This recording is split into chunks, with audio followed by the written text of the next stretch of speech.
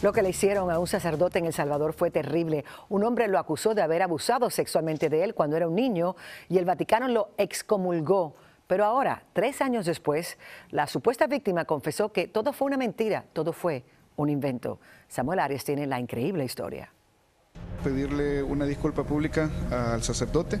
Esta es la controversial confesión de Isaí Mendoza, un salvadoreño que aceptó ante un juez haber dado un falso testimonio al acusar al sacerdote José Antonio Molina de abuso sexual cuando era menor de edad, amenazas e intento de homicidio que él, me había abusado a mí cuando yo había cuando yo era pequeño, eh, eso es falso y declaro ante este tribunal que todo lo que dije ante el arzobispo de San Salvador es mentira.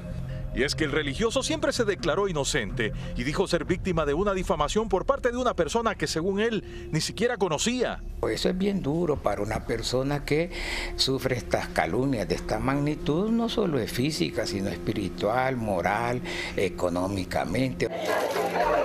Esta acusación hizo que hace tres años el Papa Francisco le retirara sus derechos y deberes como sacerdote, lo que provocó, según José, que incluso pensara en quitarse la vida. A una noche me acuerdo que pensé en el suicidio, al menos cómo era la mejor forma de suicidarse.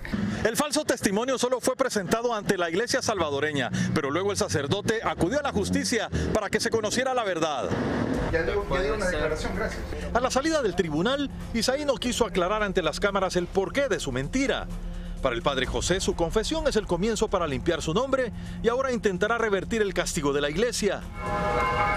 Pero la cúpula de la iglesia católica no está convencida que eso ocurra. El Vaticano va a conocer, no sé qué, qué efecto puede tener ante el Tribunal de la Santa Sede.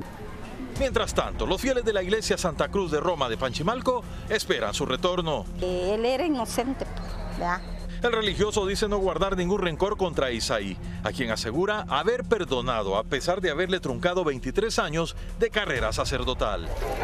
En San Salvador, El Salvador, Samuel Arias, Telemundo. Revelaron las imágenes previas a la fuga de película de una excongresista en Colombia condenada por corrupción que logró fugarse después de haber eh, conseguido un permiso para ir al dentista.